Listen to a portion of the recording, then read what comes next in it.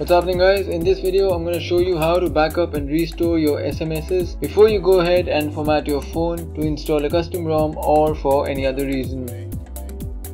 There are a lot of other apps on Google Play for the same but one of the best ones is SMS Backup and Restore by Ritesh Sahu. It's fairly small in size and does the job perfectly.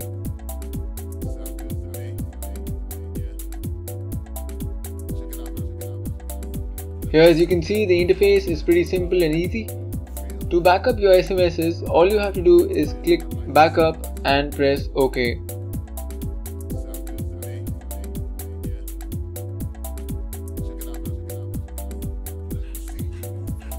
It'll take a backup of your inbox with sent items and save it as an XML file.